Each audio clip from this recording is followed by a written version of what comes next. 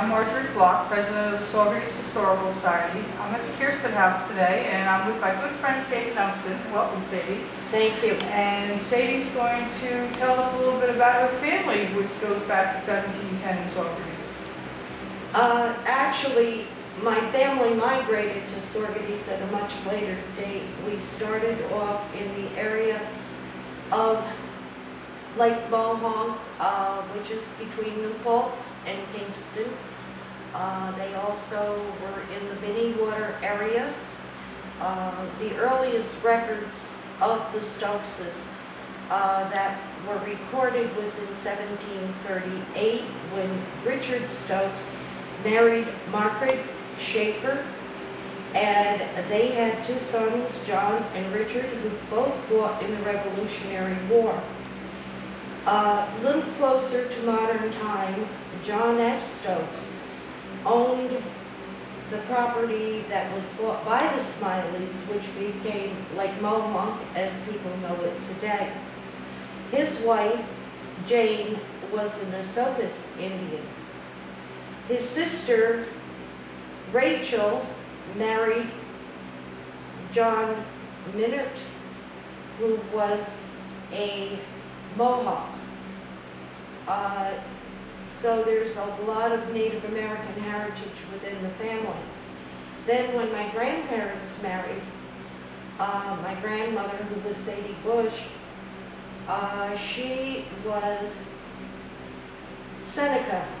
Her great-grandfathers father and uncle was taken by Joseph Brant, who was a Seneca during the Revolutionary War when they were doing the raids on Kingston. On the way back to Canada, he traded the three boys to three different Native American nations. Um, the one boy, uh, the boys' names were Stephen, Cornelius, and Isaac. Uh, Cornelius was only five when he was taken.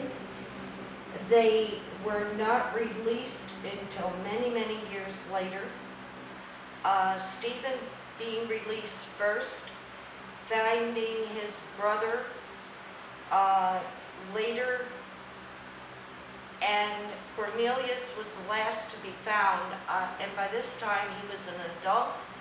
He had married um, a Seneca woman, and due to the treaties, he had to return back to the area. Wow, that's fascinating. And I didn't know you had so many tribes within your family. Oh, that's really fascinating.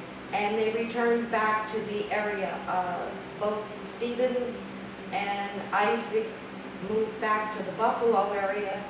Cornelius remained here. And uh, I found the documentation of the capture in Ulster. Wow, that's, that's amazing. Uh, I, as a young person, I spent a lot of time with my grandparents, um, learning the his, family history, learning the beadwork, um, learning many recipes, cooking, and um, some of my summers were quite interesting. I always dreaded the first day going back to school because I knew a teacher was going to say, what did you do for your summer vacation? And somehow, uh, learning to tan hides didn't seem like something you'd write in a paper at that time. We were talking yesterday, you were talking about turtle soup. Yes. soup. Yes, That's, that's, uh, quite different, you know? it is. And, uh, you know, these are things I learned to do over the summer. And uh, fortunately, there were enough other family outings and things that I could write about, so.